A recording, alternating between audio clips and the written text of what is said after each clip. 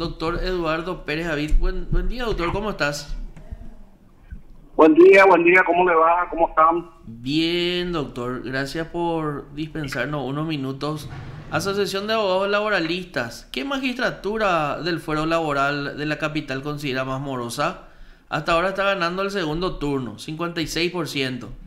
Le sigue muy de cerca el primer turno.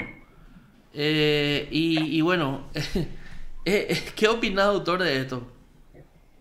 Bueno, ahora nosotros estamos haciendo una segunda encuesta porque como son seis turnos en capital, tuvimos que dividir la, la encuesta. La primera parte fue con los tres primeros turnos y ahora estamos con los siguientes turnos que son cuarto, quinto y sexto, ¿verdad? Entonces vamos a esperar hoy que finalice esta encuesta para determinar un poco la percepción que tienen los colegas en general, quienes litigamos en el fuero laboral sobre la morosidad judicial.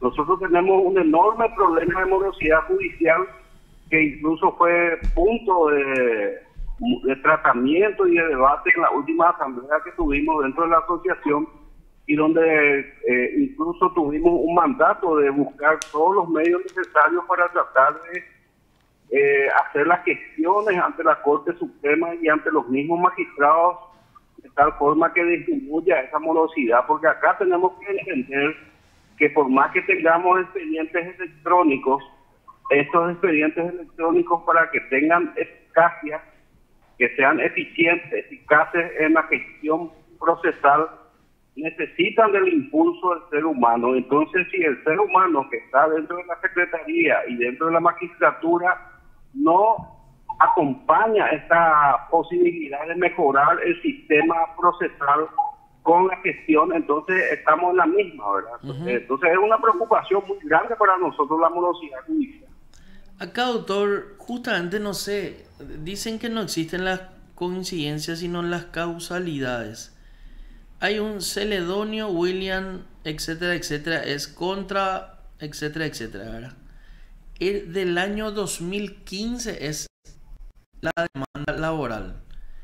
El año pasado, a noviembre, diciembre, después de eh, casi siete años de, juicio, sale la resolución eh, o sea, sale una resolución, va a la Cámara de, en, en el fuero laboral y me dice, para tener en cuenta nomás, el 10 de junio se firma una providencia donde una de las magistradas de la Cámara, de una de las salas, se aparta.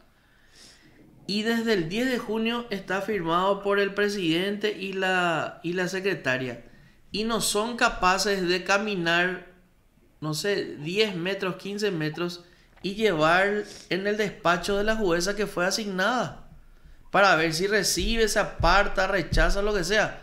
Imagínense lo que es. O sea, tienen que tardar 13, 14, 15 días para hacer ese pequeño trámite. Ni me imagino lo que va a hacer para elaborar una sentencia.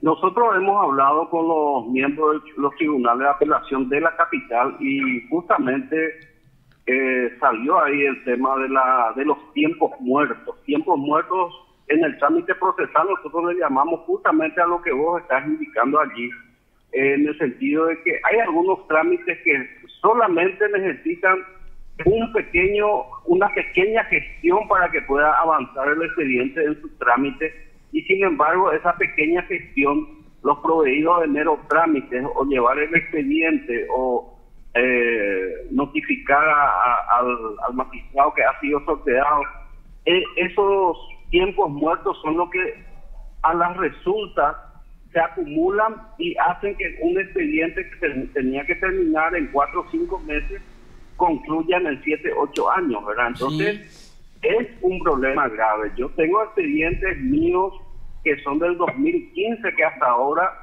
del 2014 que hasta ahora sigo en trámite, ¿verdad? Imagínense, son 10 años donde varios de los actores, trabajadores que impulsaron la demanda, incluso ya fallecieron y no accedieron a su justa indemnización por la mora judicial. Entonces es un problema grave que estamos teniendo.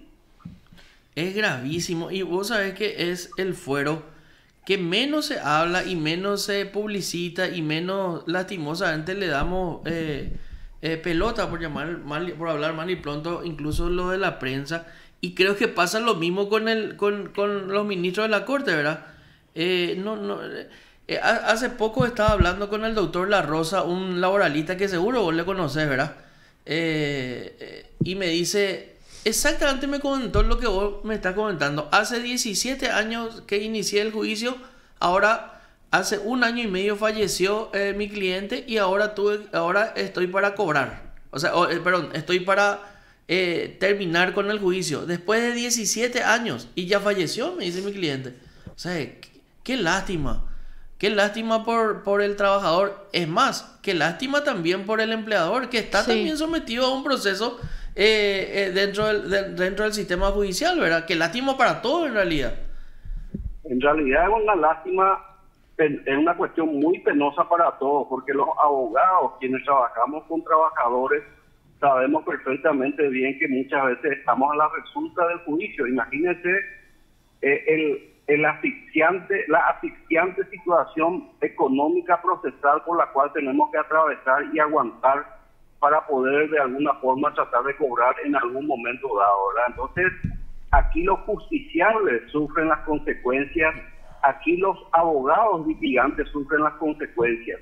Los únicos que no sufren las consecuencias son los magistrados, quienes cada mes meten su tarjeta de crédito en, el, en cajero automático y cobran su salario. Entonces, es una situación muy injusta y además tenemos que considerar que en el derecho laboral el salario se considera, se conceptúa como un derecho alimentario. ¿Qué significa esto? Que el trabajador vive de su salario para subsistir y cuando es despedido precisa de su indemnización para poder justamente seguir alimentándose él y su familia. Por eso es que se le ubica al salario como un derecho alimentario y tanto el sector laboral como el sector de la niñez son fueros de carácter social que debe ser atendida por el Estado si nosotros vemos la constitución política eh, establecida en nuestra misma constitución paraguaya, ¿verdad? Entonces, nosotros vemos con mucha preocupación de que el presupuesto del Poder Judicial muchas veces en un altísimo porcentaje va para el fuero penal, para atender a delincuentes, para atender a personas que han cometido algún hecho punible y también para atender a inocentes, ¿cómo no, verdad? Pero si se va a destinar un gran presupuesto del Poder Judicial, debe ser destinado al sector social que de alguna forma eh, mueve la economía como es el sector laboral y donde las partes, tanto el empleador como el trabajador, precisan en un corto tiempo una resolución para pacificar el conflicto de carácter social que se ha generado. Entonces, es un tema relevante que, que hace falta debatirlo con profundidad con los señores ministros de la Corte, que en su gran mayoría, no, la gran, todos los miembros de la Corte Suprema no son especialistas en derecho laboral, lamentablemente, sí. y estamos nosotros medio huérfanos de una atención adecuada por parte del Poder Judicial, de la máxima autoridad del Poder Judicial sobre este tema. Así mismo, doctor, doctor, te, te podemos pedir un favor, un favor para que nos compartas acá el número de producción, el cómo termina esta encuesta, tanto la primera y la segunda. Eh, y nosotros este fin de semana nos vamos a encargar en nuestra tapa y en, nuestra portada de este tema que realmente debe ser atendido por la máxima instancia judicial.